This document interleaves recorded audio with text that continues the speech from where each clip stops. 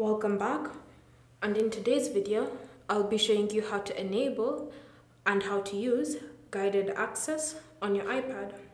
So the first step is to open settings and in settings select accessibility. From here scroll through the various options until you get to guided access and tap on it. So from here to enable it tap on the toggle at the top and with it enabled you can now customize it. So you have passcode settings, time limits, accessibility shortcut, and display autolock. So let's start with passcode settings. So when you tap on it, you have the option to set a guided access passcode, and you also have the option to enable Face ID when you double click on the top button, this one right here, to end guided access. So you can tap on the Face ID option to enable it, if you don't want to use Face ID, you can always choose to use a passcode.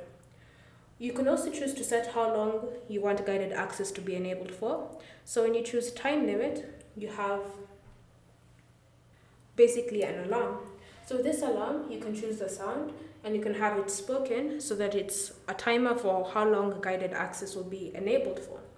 Then you have an accessibility shortcut and by enabling this feature, Whenever you triple click on the top button on your iPad, then the guided access menu will be enabled and you can now choose to turn it on or turn it off from that small menu.